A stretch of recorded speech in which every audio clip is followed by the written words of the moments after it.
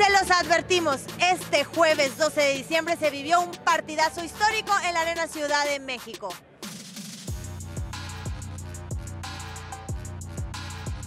La noche histórica fue gracias a Luka Doncic. El novato del año no dejó nada que desear porque logró ser el primer triple doble en la historia de las visitas de la NBA a nuestro país en temporada regular. Así es, Jime. Luca vino a dar una cátedra de básquetbol eh, metiendo 41 puntos, que es lo primero que se hace aquí en México. Es el récord.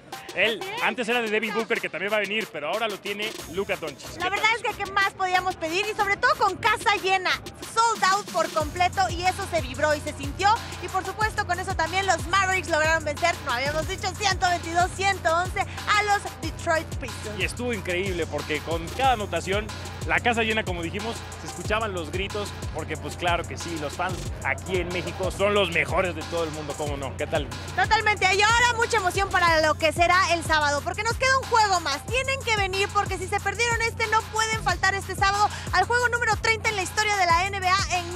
país. Muchas gracias, estuvo padrísimo, chócalas. Y les recordamos que se metan a superboletos.com para comprar los boletos del próximo partido que es el sábado. Los Phoenix Suns se enfrentarán a los San Antonio Spurs de Greg Popovich. También vamos a tener aquí partidazo y también va a haber casa llena, van a ver. ¡Completa locura!